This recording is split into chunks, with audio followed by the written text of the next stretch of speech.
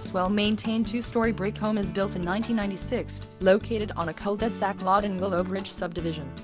It also features 3482 square feet, 5 bedrooms, 3 and half baths, 3-car detached garage, both formals, 2 bedrooms down, and game room upstairs.